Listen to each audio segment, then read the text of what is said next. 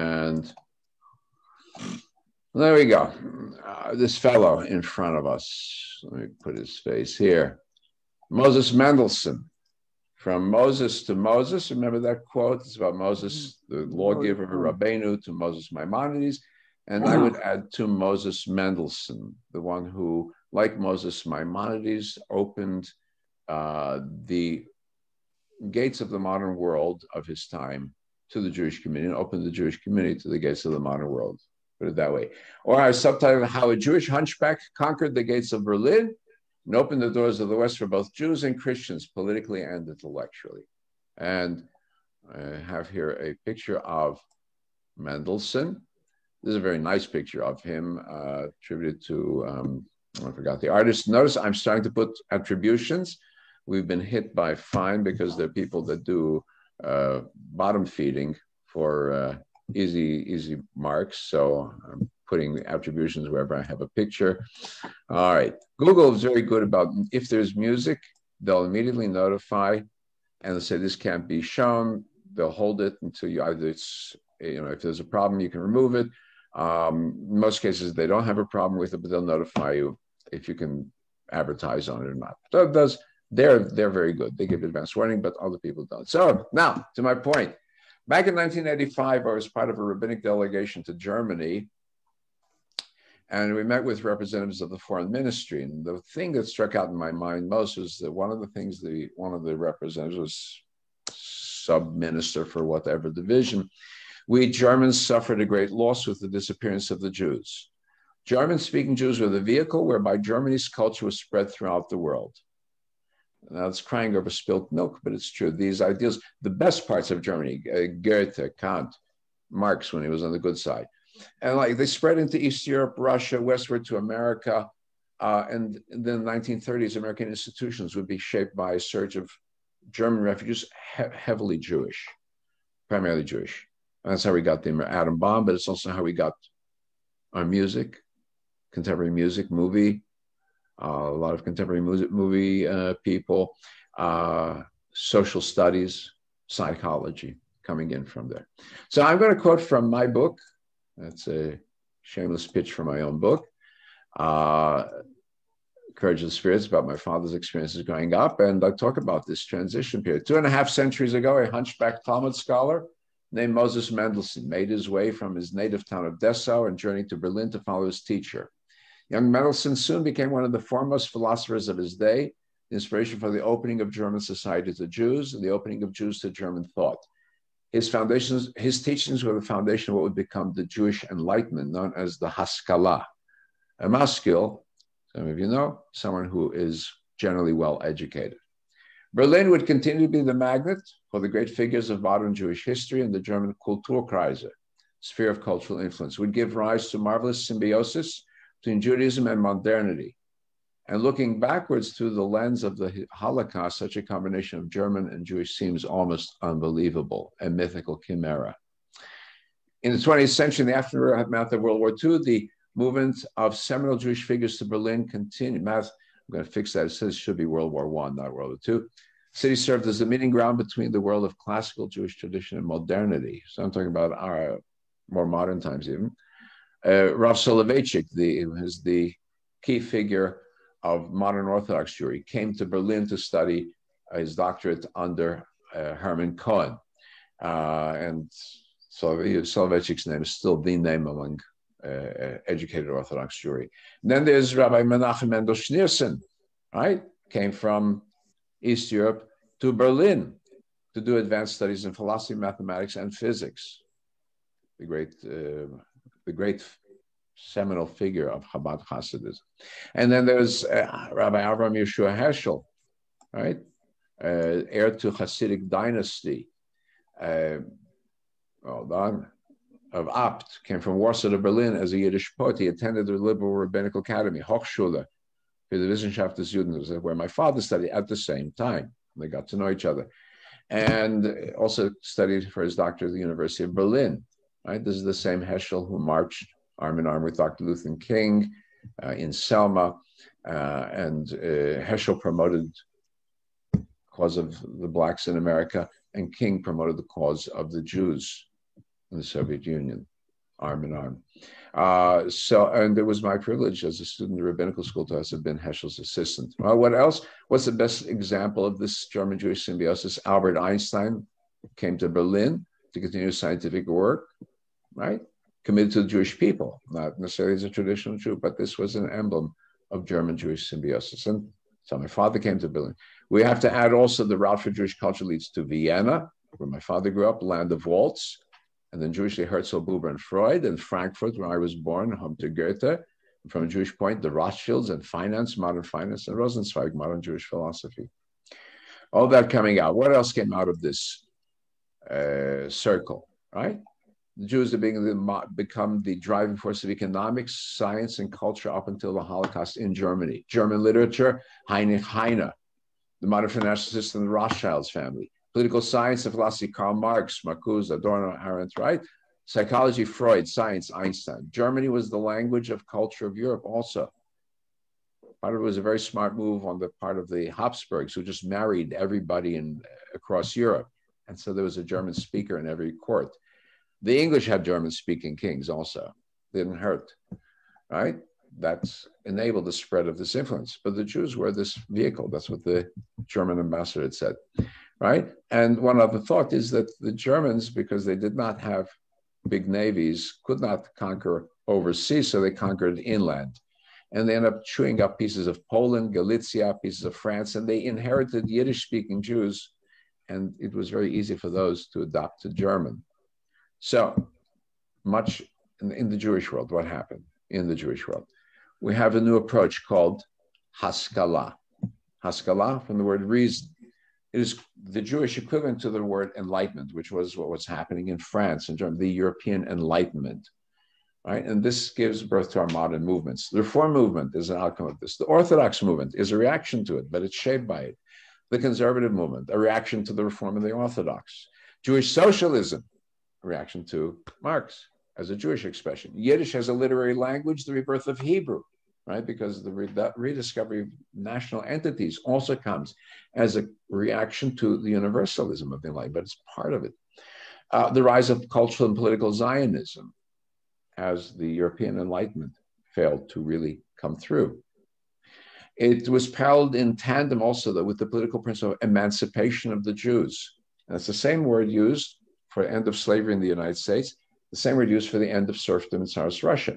The Jew was the was the was owned by the state or by the baron. Now he was emancipated. Right? The medieval structure of the Jew as a separate nation was eliminated. Jews should be denied everything as a nation, but granted everything as individuals.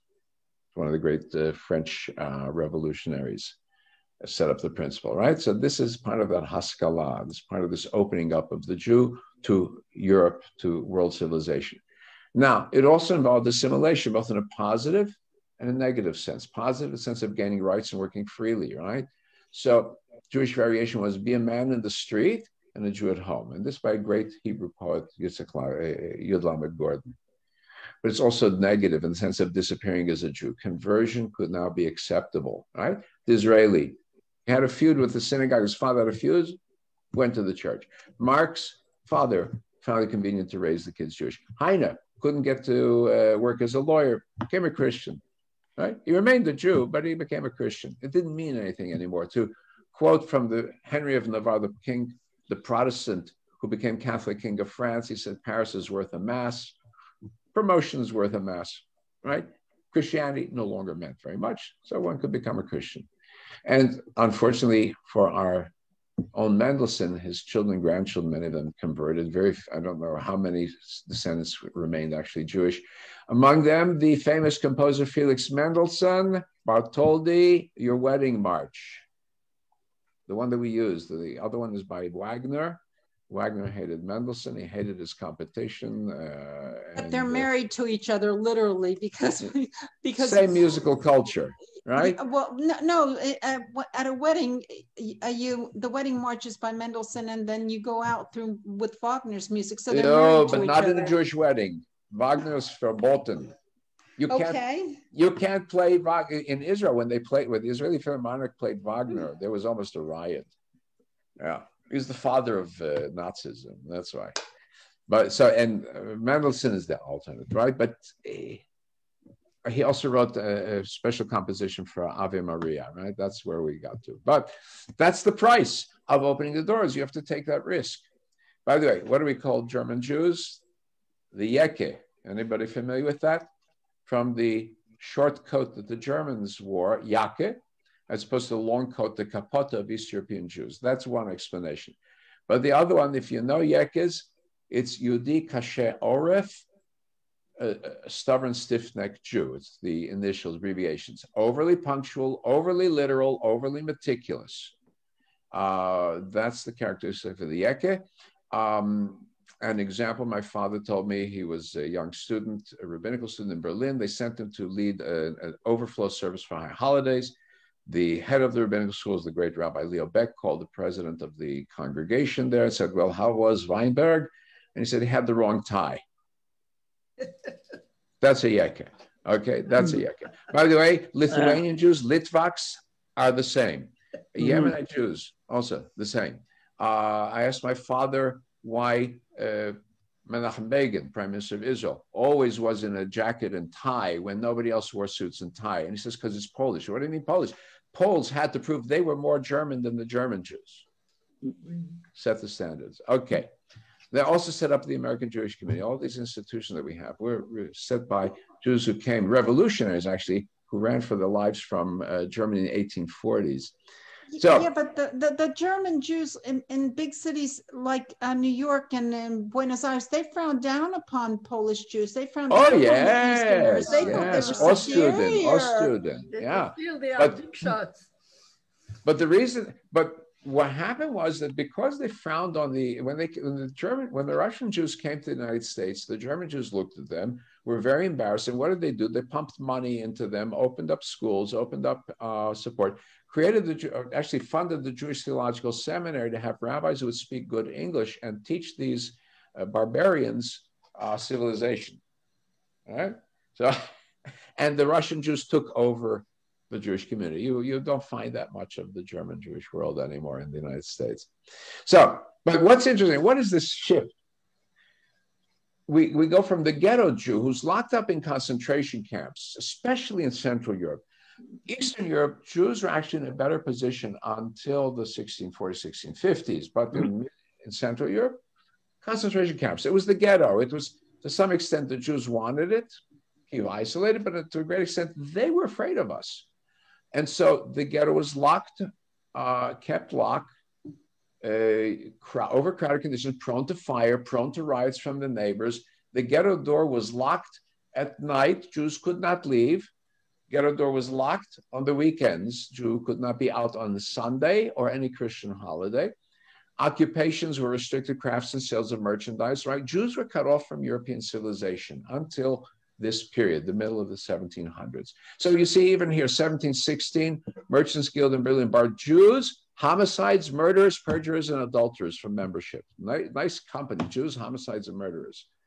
In 1780, Jewish painter not admitted to view a picture gallery in Dresden. 1795, Jew was rejected by the Berlin Academy of Music. It is mathematically impossible a Jew could be a composer. There's a very common line among German intellectuals. A Jew did not have the mental capacity to create. He was good at mechanical skills, mental machinations, but not the creative soul. That's Wagner, and that's other, even German Jewish intellectuals sometimes absorb that thought. And this was true to get extent until the Napoleon, till the French Revolution. Napoleon took over, he opened the gates of the ghettos, and Jews began to get civil rights. And within a few decades of getting civil rights, Europeans found that Jews were now taking over professions and universities. And that's where you get the numerus clausa, limit, restricting, because there were too many Jews.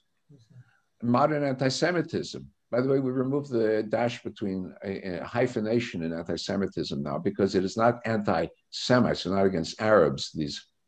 Uh, the, the, these stinkers, right? They're against Jews. And so anti Semitism, one word. Well, that was invented as a political tool in response to Jewish success. Now, so how is it possible that this happened? Well, there are uh, obviously the historic trends, the, the wars of religions, the Protestant versus Catholics, the 1500s, 1600s, with the 30 Years' War. Almost one third of all Germany was wiped out in that war. Uh, that laid the foundations for religious tolerance because They were tired of killing each other over religion. And you also have the rise of modern science, primacy of reason over faith. You have Galileo, you have uh, Newton, even though Newton was a very religious man. But his system put reason, gave proof to the idea that reason and research were the kings. You have the idea of rights of man, the rise of power of parliaments versus the king. And even the kings were enlightened. They were called enlightened despots, Frederick of Prussia, Peter the Great of Russia, Maria Theresa of Austria. They were very much influenced by these trends. Not that any of them were really friends of, uh, especially not Maria Theresa of Austria, but you know, okay. Now, it's very interesting how times change. Remember, I did a discussion about the Ramban, Rabbi Ben Nachman, my, Moshe Ben Nachman, chased out of Barcelona because he won the debate against Christianity, and his own friend, the king, couldn't save him. One of my ancestors, Rabbi Yom Tov Lipmann Heller, was falsely accused of defaming Christianity, was sentenced to death. And then he was let off again because he had friends in court, exiled from Prague to Krakow. That was just a century before the hero of this account was born. So we will see how the tables had turned in the space of a century to make this possible. So we go to Moses Mendelssohn of Dessau. Dessau, small town about uh, 100 kilometers or so from Berlin. Creative and eclectic, from an article in Stanford Encyclopedia of the Philosophy. A creative and eclectic thinker whose writings on metaphysics and aesthetics, political theory, and theology, together with his Jewish heritage, place him at the focal point of the German Enlightenment for over three decades dubbed the Jewish Luther. He contributed significantly to the life of the Jewish community and letters in Germany, campaigning for civil rights and translating Pentateuch and Psalms into Germany. So, what was his beginning? Saying from the Jewish Encyclopedia. Born in Dessau, 1729, died 1786.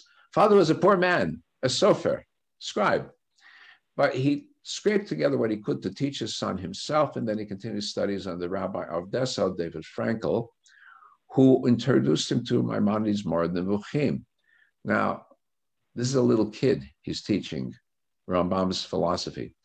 Now, he was so dedicated as a student that it is said that he uh, uh, he incurred illness that left him curvature of the spine. He had a terrible hunchback. And then the rabbi went to Berlin. He was called to Berlin, and Mendelssohn went on foot to follow him. So this is a description of what happened that day from a writer by the name of Liliana Ruth Feierstein. On a cold day, October 1743, the gatekeeper, who according to law guarded the Rosenthal Gate in Berlin, granted entry to Moshe Mendel, Moses Mendelssohn, from Dessau. The gatekeeper, with meticulous precision, made the following note in the record books of the Sentry Post. Today, six oxen, seven pigs, and one Jew passed through the Rosenthal Gate. Jews were allowed to go only through two gates into the capital, and they had to pay customs to get in. So she says this is a symbolic entry. He enters German society by the gate of the pigs, and that opens up the boundaries for the Jews, and then it's closed at the gates of Auschwitz, sadly enough. Oh, imagine though, imagine the specter that this gatekeeper had, and not only the gatekeeper, later on the leaders of Germany who would meet this intellectual version of the Hunchback of Notre Dame. Hunchback of Notre Dame is this figure, hunchback, but very simple, simpleton, whereas this one is brilliant. But he has a bent over back, long nose, receding forehead. This is the ultimate outsider. This is what they would expect the caricature of a Jew. And he conquers them. On his own, he studies mathematics, Latin, French, and English, develops a taste for science and Leibniz. And these, I have a few pictures of works that were in my possession. This is his Gesammelte and collected uh, writings put together by one of his uh, descendants, Dr. Mendelssohn, 1844. That was one of his sons. And uh, supported himself as a bookkeeper, self-taught. And he was introduced to leading thinkers of the newly emergent Prussian state. And this is under Frederick of Prussia. Now, Prussia is becoming the dominant power of Europe. He develops proficiency in languages, mathematics, philosophy, and poetry. And he becomes a chess player and he gets to know Gotthold Ephraim Lessing, a German writer and philosopher and dramatist, and a very powerful figure in the European Enlightenment, French and German Enlightenment. And it is Lessing who takes Mendelssohn under his wings, publishes one of Mendelssohn's works without him knowing about it, And the court, everybody, even the court wanted to know who is this young Hebrew wrote in German. They couldn't believe that a Jew could write magnificent German. He came onto the staff of a, of a new magazine, Bibliothek, the Library of the Fine Arts. That's how it translated. And he became the very soul of the magazine. Now, a beautiful story. In uh, 1762, he went on a visit to Hamburg and he found a plain, pure, simple girl, but he fell in love with her. But how did he convince her? Because he could see that he didn't look very handsome in her eyes. So here's the tale. He notices that his hump has uneased the young damsel and is about to take his leave. And at last, after he cleverly steered the discussion in this direction, she asked, Do you also believe that marriages are sealed in heaven? To which Mendelssohn replied, Most assuredly. And what's more, let me tell you something extraordinary that happened to me. When a child is born, you see an announcement is made in heaven. This one or that one will be matched with her or her. And so when it came to my turn to be born, my future wife was announced to me, whereby I was also told that, alas, she would have a hump, a really terrible one. Oh, dear God, I said, a girl who's deformed can easily become bitter and hardened. A girl should be beautiful. Dear Lord, give me the hump, but let the girl be svelte and pleasing. Whereupon Frometzo, the story goes, embraces him overcome. Now, if that's the real story, I don't know, it's a family tradition, but there must have been a core of truth to it because he really swept her off her feet. Beautiful story. And they go on to found the family and uh, have very prominent uh, children. Right? His, his, ability, one of his great uh, secrets was his ability to uh, undo people who came at him with attacks, verbal attacks. Very good at it. So, but again, this kind of a brilliant guy, what does he do for a honeymoon? He doesn't go to Niagara Falls or the German equivalent. He, on his honeymoon, writes an essay offer. It was a prize. There was a prize offered. It was metaphysician, metaphysician, metaphysician Wissenschaft. Right. The question whether one can prove physical uh, philosophy issues in the same mathematical uh, perfection as one can with mathematics. Same, uh, right? And his essay is that one can create a metaphysical science based on logic. And he won the prize of 50 ducats in June 1763. So he can pay for his marriage with that. And he beat out Thomas Abbt and Immanuel Kant, who were much more famous uh, uh, philosophers. And Kant was the greatest philosopher of Europe of his day. And he beat him in this essay. And Kant later on, later on backed Mendelssohn in many things, especially in his great book that I'll show you uh, of the superiority of Judaism over Christianity. So here's a summation of his works uh, from the Stanford Entry. He has works on rational psychology, mm-hmm. into all the natural theology, ethics, aesthetics, right? All of these realms of philosophy. We'll go ahead. Now, we'll go to the defense of Judaism. I have this interesting picture here that I found. Again, uh-huh. contribution in here. And you see Mendelssohn, uh, here, characteristic Jewish face, long pointy nose. He's got his little goatee, the Jew with the beard, and he's got a kippah.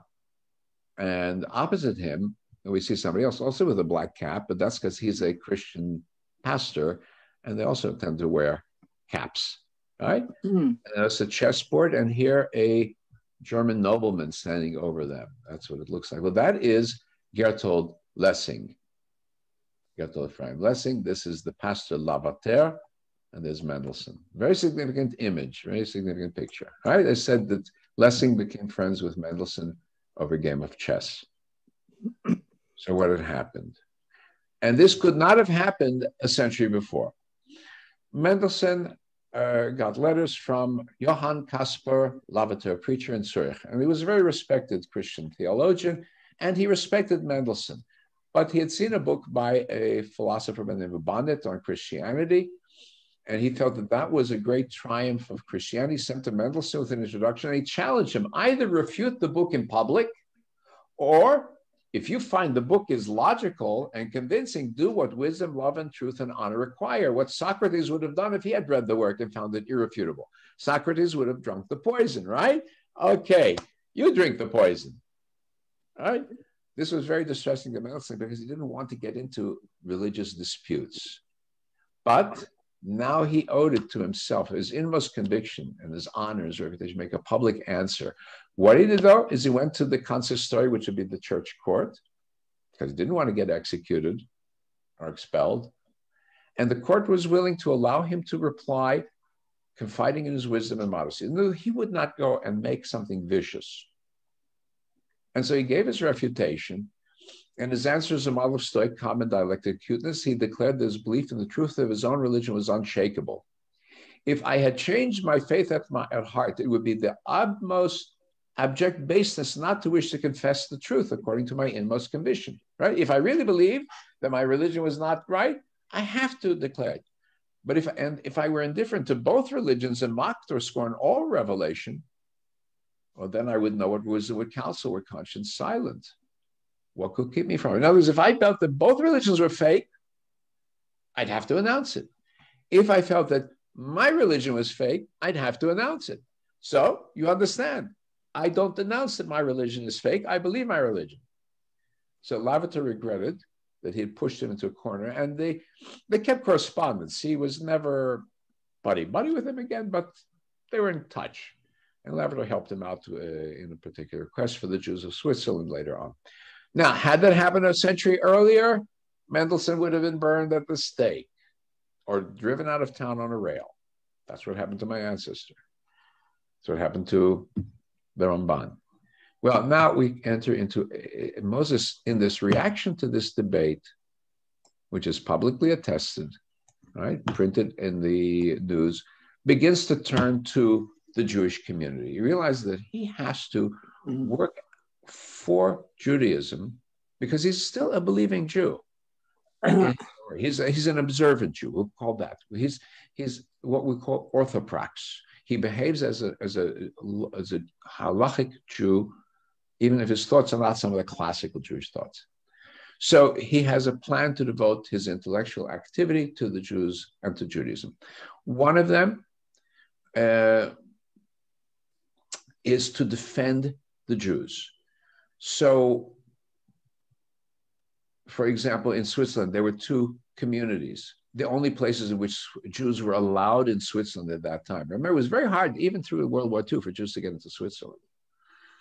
Uh, the only places they were tolerated, these two communities. And there were restrictions imposed upon in 1774. They asked Mendelssohn to intercede with Lavater, the same Lavater who had challenge him to debate. And he didn't really want to do this, but he went ahead. He asked Lavater to uh, stand up for the Jews of Switzerland. And indeed, Lavater took the noble route and uh, pressed for the rights of these Jews. And then, similarly, in 1777, uh, Jews were about to be expelled from Dresden, right, the land of China.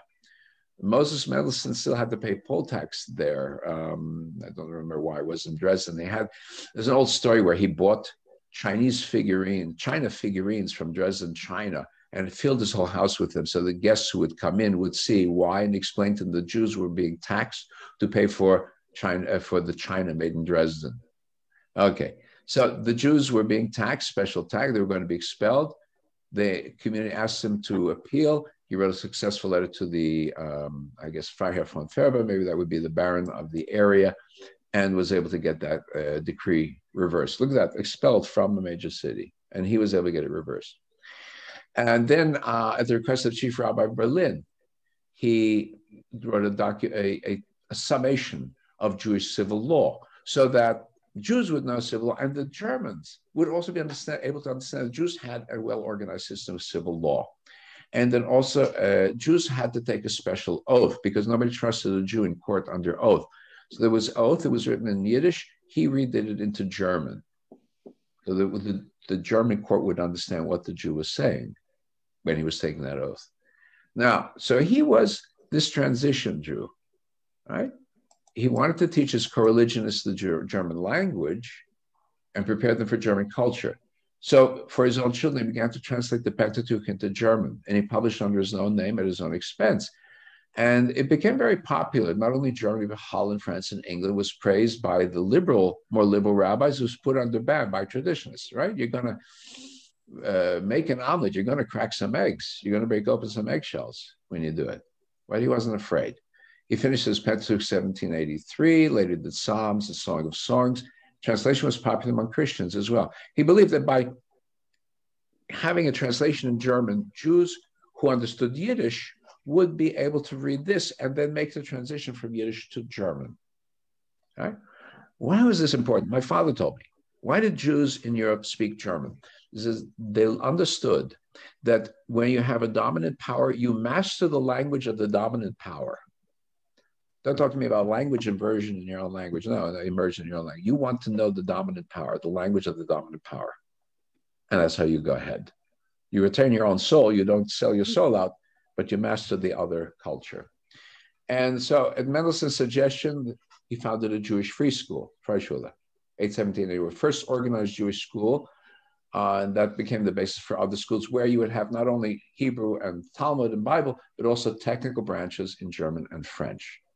Right? So a century later, a century and a half later, my, my grandfather, who was an Orthodox Jew, very Orthodox Jew, leader of the Jewish community in his small town, sent his sons to gymnasia to study modern language, modern science.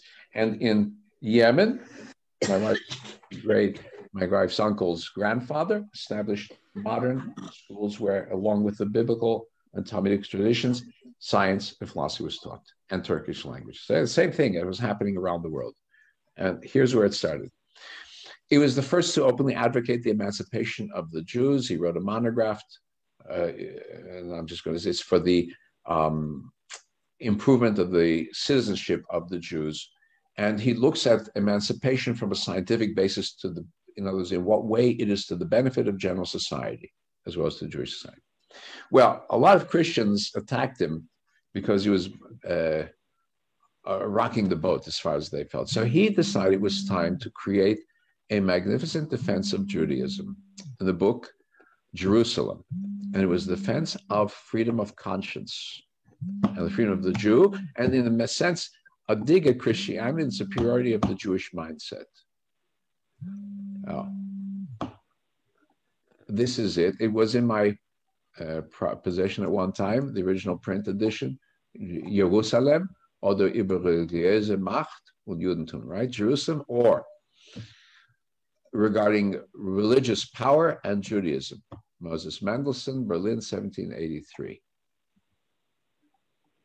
Yeah. What's it do? It talks about the relation of church and state. Both of them are designed to promote human happiness. The church, however, has no right to own property, and church law is a contradiction to the nature of religion. How is that? He opposed the right of ban and excommunication, pleaded for separation of church and state, and freedom of belief and conscience. And the second part, deals with Judaism, which, according to him, in contradistinction to Christianity, has no dogma, whose acceptance is necessary for salvation. Wait a minute. I don't have a specific statement to be saved. Christian must say the catechism.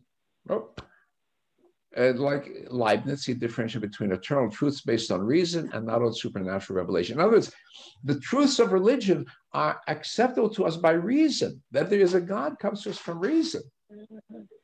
The tradition merely guides us there, right? That's going back to Saadia Gaon and Maimonides, right? Judaism is therefore not a revealed religion in the usual sense of the term, but only revealed legislation laws and commandments, regulations supernaturally given to the Jews through Moses. Now, how do you justify that supernatural? It is that we have it, it's ours. We don't look at miracles as the evidence of eternal truth, nor do we try to formulate articles of faith. So he did not say, I believe, but he says, I recognize that to be true. Notice the formulation. I recognize it to be true. It makes sense. It is logical. That's what he's trying to say. Spirit of Judaism, he says, the freedom in doctrine and conformity in action. Freedom in doctrine and conformity. This is a very classical Orthodox stance, by the way. Um, we have nothing except the four walls of the halacha, four yards of halacha. That is what we have, our behavior. All else is open. It's a very classic Orthodox position, but he presents it in a modern language. And he says, this is the, in the, he says, uh, then the, the halacha, ceremonial law, is a writ, living, quickening the mind and heart, full of meaning, having the closest affinity with speculative religious knowledge. The indispensable bond, indissoluble bond, forever to unite all those who are born into Judaism. What divine law has ordained cannot be repealed by reason, which is no less divine. right? So he says, okay, we, we also, we don't have a right to end Jewish law, right? This is a, a critique in advance. I don't know to what extent reform had started by that time. It was beginning on the horizon, but the idea, well, let's get rid of the Jewish law. No, the law is at our core. Now, it was not a big success right away, but Immanuel Kant, the great philosopher, called an irrefutable book. He said, you know, you cannot deny his position. You can't really argue against it. It's the proclamation of a great reform, however, slow manifestation progress will affect not only your nation, but others as well. In other words, the way he challenged Christianity, being based on faith, as opposed to being based on the reason, will undermine Christianity. And it's hold, and he had a great point. And some quotes The state has physical power and use it when necessary. The power of religion is love and beneficence. Right? So both state and power are essential. But it's the the state needs to use the power of force and coercion. Religion needs to use influence, love, and benefits. Judaism boasts of no exclusive revelation of eternal truths that are indispensable to salvation. We don't have it all. We don't claim to own it all. Nor revealed religion in the sense that that was, which is usually understood. Revealed religion is one thing, revealed legislation another. We have our Torah. That's not exclusive, but that's ours. Faith, understanding, and intellect is universal. So, Judaism then becomes a religion of the spoken rather than the written word, relying on a living tradition. Remember last week I spoke about the Karaites. He said we have to go back to the text of the Bible. Mendelssohn is writing as a rabbinic Jew. The written word, the Torah Shebichtav, is merely a skeleton for us. It is the Torah Shebal Peh, the oral traditions, the discussions and debates that make it a living religion. That is where we get our authority from, not some ancient written words, but from the debate, debates and traditions. That's again classic rabbinic position formulated now for the European to understand. Okay, well, I'm going to wrap up with something very beautiful because Lessing, who was Mendelssohn's best and dearest friend, had erected a noble monument to his friend Nathan der Weise, Nathan the Wise. And Mendelssohn is the hero in this story. It's set in the medieval uh, times in the, in, during the Crusades. Uh, the, the, the play is regarded as the best representative of the Enlightenment. The movement of intellectual change deals with one of the brightest ideals of this movement unalienable rights implies certain laws cannot be violated. Religious tolerance has to be supported, the idea of being free in ideas, interests, religion, or words. And this is what would swing open. Actually, the play, Nathan the Wise by Lessing, helped swing open the doors. Napoleon did his part, the French uh, Revolution did its part, uh, the European Enlightenment did its part, but this Mendelssohn's play made a great impact. Uh, the doors were open, even if it was just short century and a half before it was shut at Auschwitz. Now we have just can, European civilization, just the can, shell of itself. Yeah. Can can uh, Moses uh, Mendelssohn consider like a father of conservatism? Uh, he actually he's a father of intellectual Orthodox Judaism, if you think of it. Uh, although he, he did believe in adjusting um, halakha to circumstances, uh, he was he in his preachings wanted to live as an Orthodox Jew. Uh, the I mean, he's a father to the Reform also, and he's a father to the modern Orthodox also, right? He's, he's a father to all of these movements because he opens up the boundaries that, especially for European Jews, have been imposed upon them from outside. So this is the text of Nathan the Wise. It's an old printed edition. Nathan the Wise and Dramatische Gedicht in fünf Aufsagen. Uh, Aufsagen, okay, right? Five uh, acts, uh, dramatic uh, play in five acts. And now I'm going to tell you here a little summary of this play. Somebody came up with a statue of what Nathan the Wise would have looked like and came up with a nice statue. Um, and here I'll just give you a, a, synopsis of the opening of the story. It's a very complicated play. Um, it goes into questions of love and identity. Uh, what makes somebody Jewish? What makes somebody born Jewish, raised Jewish, Christian, Muslim? right? It takes place in the time of the Crusades. So we might say Crusades a thousand years before, but if you think about it, Europe was still in war with the Muslims. Uh, and, and, we forget that Turkey, uh, the Ottoman Empire, representing the Islamic State of its day, the Caliphate, had gotten to Vienna, halfway across Europe, and had colonized Eastern, Southern Eastern Europe, and still was inside Europe for a long time. Right? So there's still conflict between Christians and Muslims. Uh, this was going on also in the Mediterranean, where uh, Christian ships were pirated by Muslim ships coming out of North Africa. That's why the United States, we have the song uh, for the Marines to the shores of Tripoli, is because the United States had to get involved in the conflict. All right, so it's a long standing, it's still active when this play is being written, this conflict. And the Jew is in between. So here's the, the, the synopsis Nathan, a Jewish merchant, returns to Jerusalem after a business journey. Learns his adopted daughter Recha has been rescued from a fired home by a young German Templar of the Third Crusade. And he is a captive whom the Saracen Sultan Saladin spared because he resembles Saladin's brother. Right? The questions here about who's really the son of who, and it plays on in the story. Nathan, to whom it was said God had given the greatest gift, wisdom, and the most worthless, right? Riches, right? The, the riches are worthless, but the wisdom is what's really valuable. Goes to thank the Templar who wanders daily about the Savior's tomb. The youth first scorns the thanks and the offer offered reward of a Jew. If you insist upon a reward, this mantle was slightly scorched in the flames when I rescued your daughter. When it is all in rags, I'll come to borrow the money from you to buy another. Right? That's what he tries to say. Then Nathan takes in his hand the scorched cloth. Templar sees a tear fall on it and he asks in surprise, Are there good Jews in this world? Nathan replies, There are good men in every land. The tree of life has many branches and roots. Let not the topmost twig presume to think that it alone has sprung from Mother Earth. We do not choose our races for ourselves. Jews, Muslims, Christians, all alike are men. and women, I say. Let me hope I found in you a man. Uh, there is a quote and I was not able to find it. I remember it, which is, and I don't know if it's in this play or somewhere else, in which it says, uh, that which makes you a good Christian in your eyes makes me a good Jew in my eyes.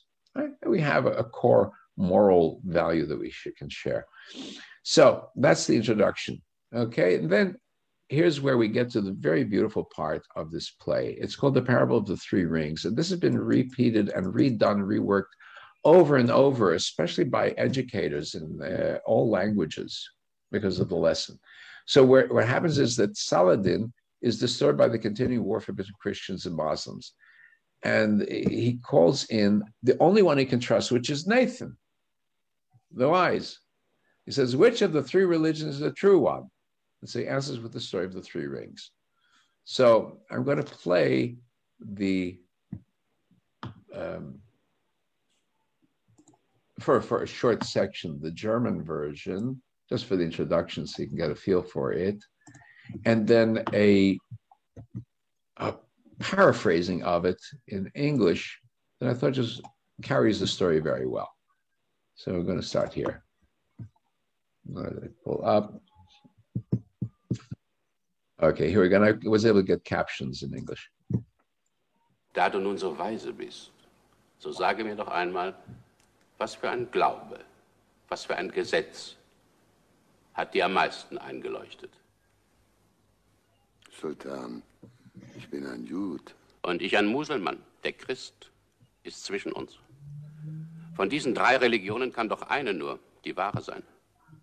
Ein Mann wie du bleibt da nicht stehen, wo der Zufall der Geburt ihn hingeworfen, oder wenn er bleibt, bleibt er aus Einsicht, Gründen, Wahl des Bessern.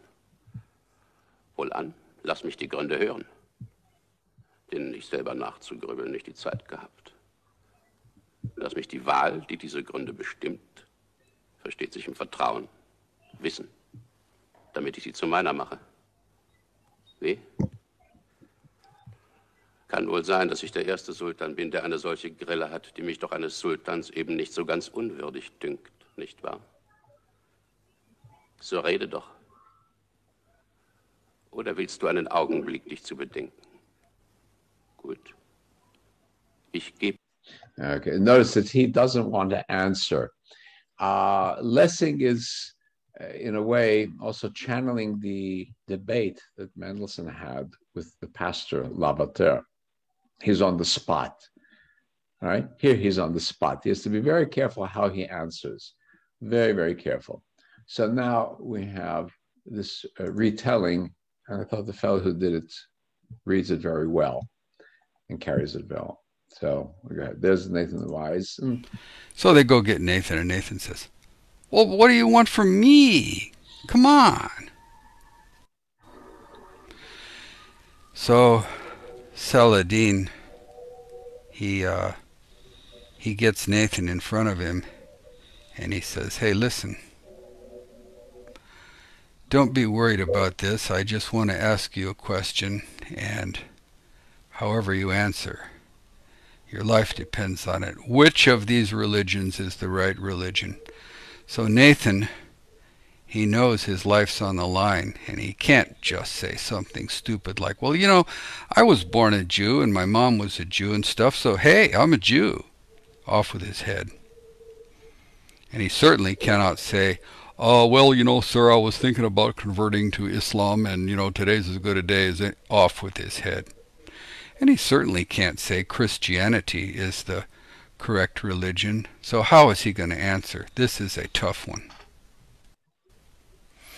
So he does. He answers this question. He says, Once upon a time, there was a father with three sons. And of course, Saladin, being a resident of the Middle East and knowing spiritual symbolism, he knew immediately that the Father was a symbol for God and the three sons was a symbol for the three religions. And he said this father, he loved his three sons, and the three sons were altogether different. They had different personalities and different characteristics. But there was a problem. The father knew he was getting old, and he had to leave the three sons on their own.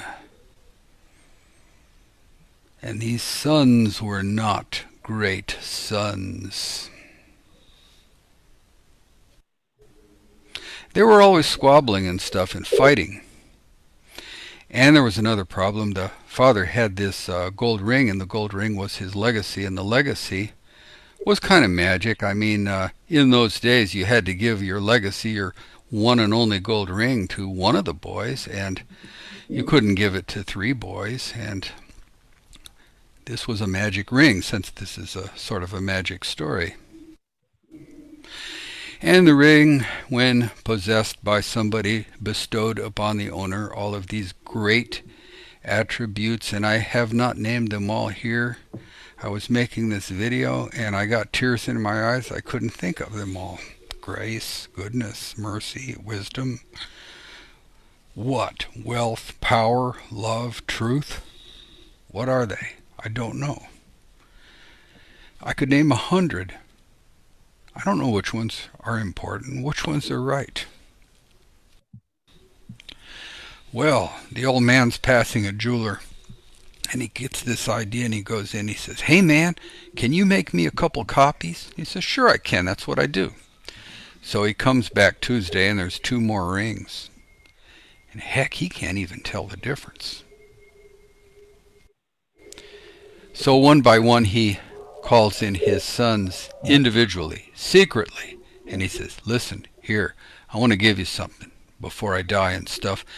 Don't tell your brothers and don't fight. Put it in your pocket. Keep your mouth shut. Please, you know I love you, and you know I love your brothers. And I want your as brothers to love each other.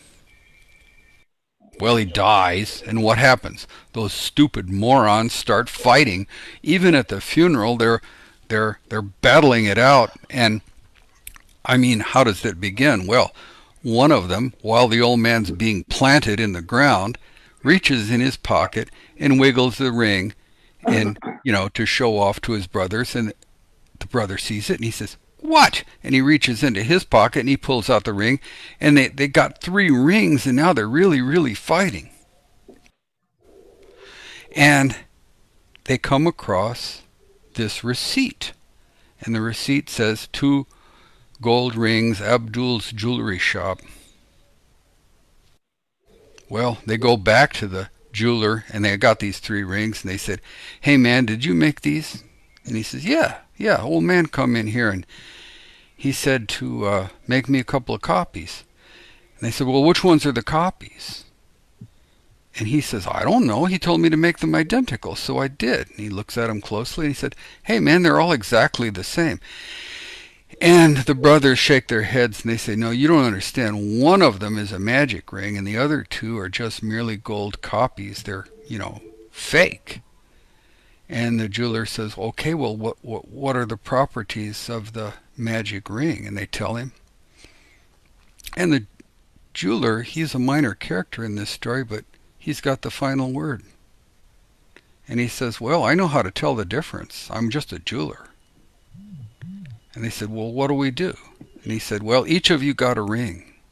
Keep it. Pretend it's the real ring. And what, what, what are the qualities that that ring bestows upon you? And they said, Well, I mean, it's going to make us each good and honest and kind hearted and pure and benevolent. He said, Well, the only thing I can suggest is that all of you act as though you had the real ring. And the one of you, or the two of you, or the three of you who breaks in how you act will prove that you've got the wrong ring. And for all I know, none of the rings are magic. For all I know, all three of them are magic. Doesn't make any difference. Act as though you had the real ring. Act as though you had been given the correct real ring by the Father. I hope you enjoyed this. My name is Pop. Yeah. It, it's a nice retelling of the retelling of the account in the colloquial modern English. Uh, it doesn't pay tribute to the very grandeur of uh, Lessing's own language in German or English, but I didn't find a good version in English. And I thought this one carried the story very well. Um, and so I have, uh, uh, you know, but more or less, he's carried it very well. And uh,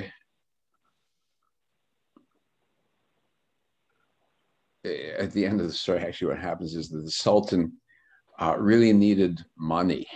and in Schiller's uh, take, what he wanted to do was okay. Let me pull back up. In in in Lessing's story.